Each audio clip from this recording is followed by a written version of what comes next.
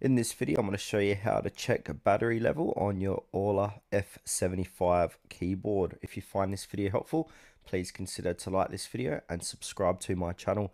In saying that, let's just jump straight into the video. Alright, so what we first need to do is press and hold the FN key, which is here, and then press the B key simultaneously.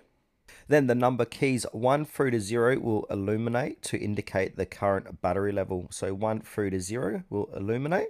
If you're half charged, it's going to be between 5 and 6. If it's fully charged, the illumination should be all the way to the 0 key. So in other words, all keys lit green equals battery is fully charged. Fewer keys lit green, battery level corresponds to the number of keys lit. And now if you get keys lit in red, battery is low and needs to be recharged.